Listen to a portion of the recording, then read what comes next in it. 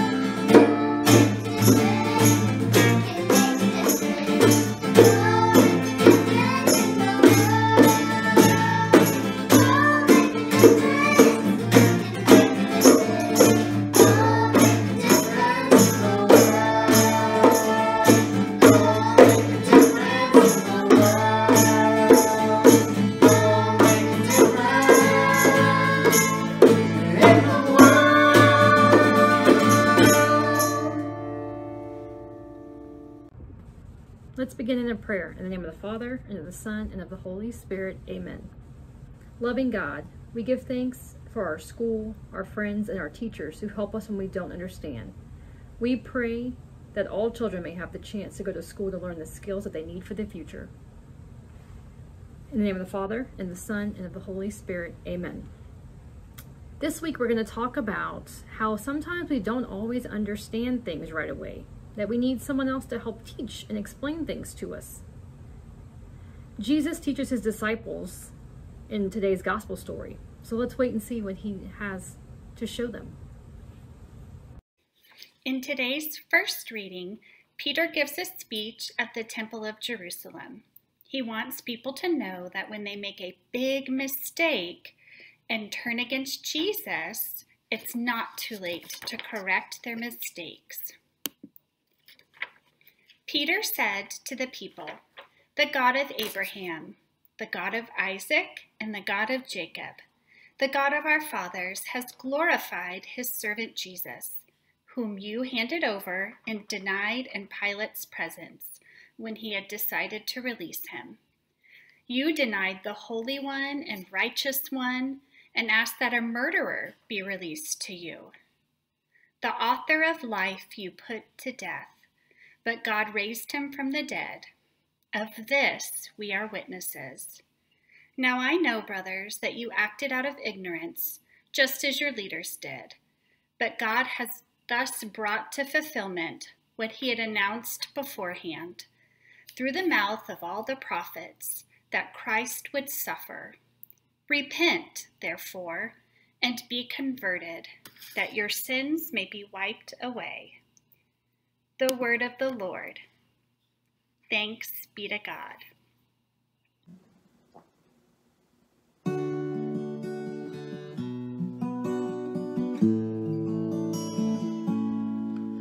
Lord, let your face shine upon.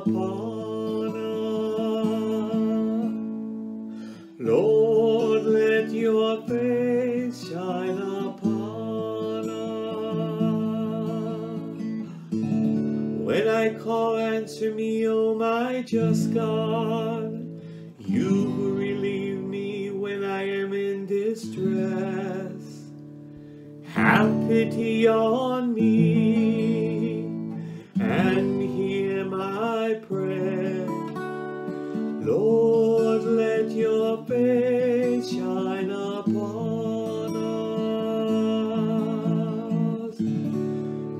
the Lord does wonders for his faithful one. The Lord will listen to me when I call upon him. Lord, let your face shine upon us.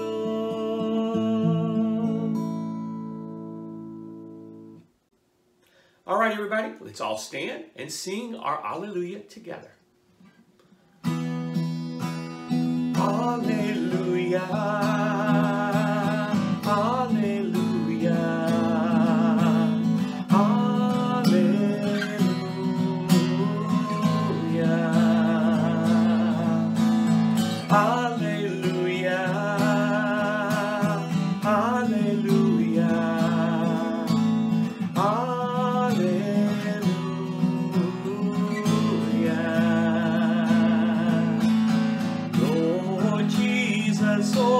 The scriptures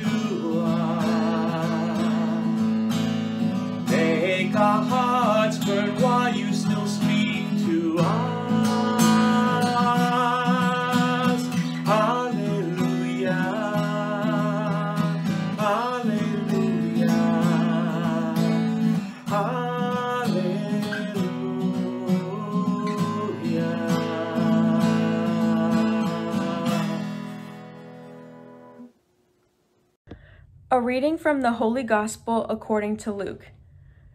The disciples from Emmaus told what had happened on the road and how they knew it, he was the Lord when he broke the bread.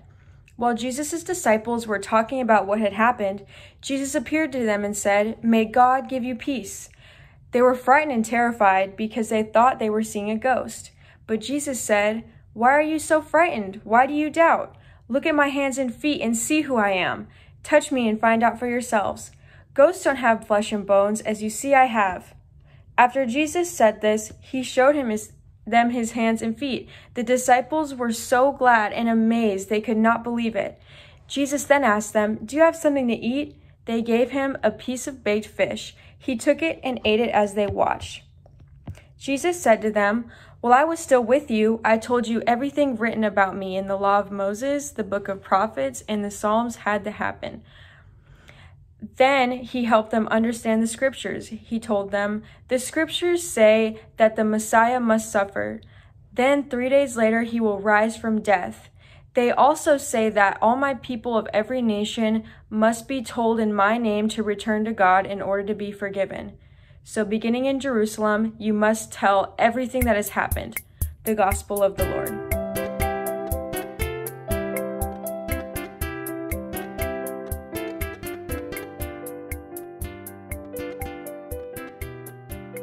So let's talk a little, a little bit about the gospel story that we heard today.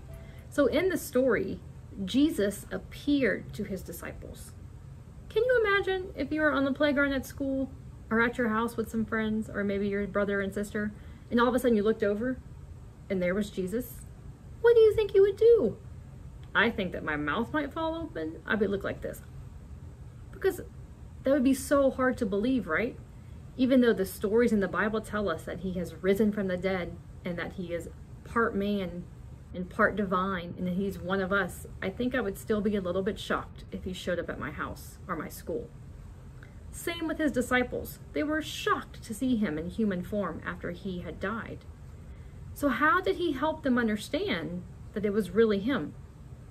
Do you remember? He ate food, he let them touch him, and he sat down and spoke to them.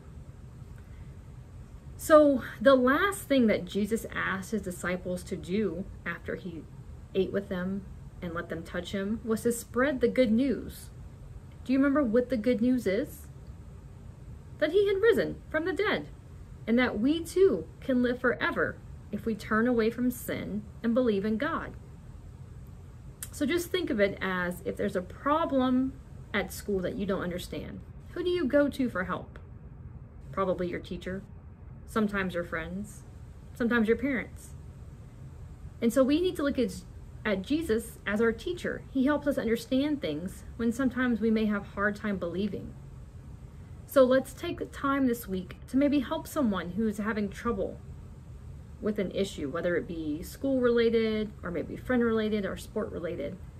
Try and help them out and explain things in a different way so they can see it differently. Everybody, it's time for the profession of faith. This is the time in the Mass where we all proclaim what we believe in, or what we believe in. So let's all say together, Yes, Lord, I believe. Do you believe in God the Father? Yes,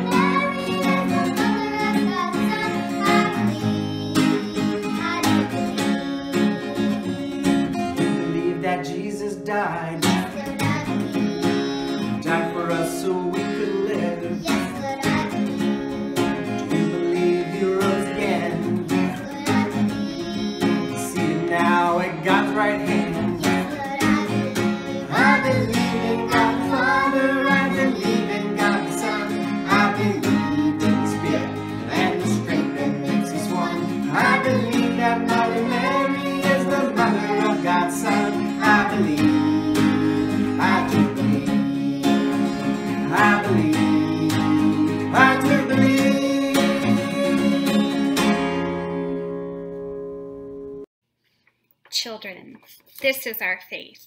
God will give us eternal life if we hold true to it. Now, in faith, let us pray for all those who need our prayers. To each petition, please respond, Lord, hear our prayer. That our Holy Father and all leaders of the Church will tell the good news in every land. Let us pray to the Lord. Lord, hear our prayer that people who have no faith will learn about Jesus and believe the good news, let us pray to the Lord. Lord, hear our prayer.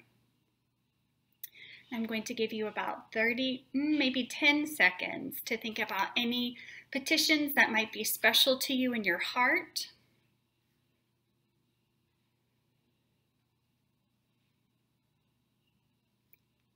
Let us pray to the Lord. Lord, hear our prayer. Loving God, today's gospel reminds us that we have nothing to fear. When Jesus died, he delivered us from everything that is evil. When he rose from the dead, he showed us the way to everything that is good. May we follow him all the way to heaven. We ask this through Christ our Lord. Amen. Today, I'm going to be closing us out with a small prayer. God, our teacher, help us understand your great love for us and to share that love with our brothers and sisters throughout the world as we work to make the world a better and fairer place. Amen. Bye, guys. I hope you have a great week. We'll see you next time. Bye, everybody, and go make a difference.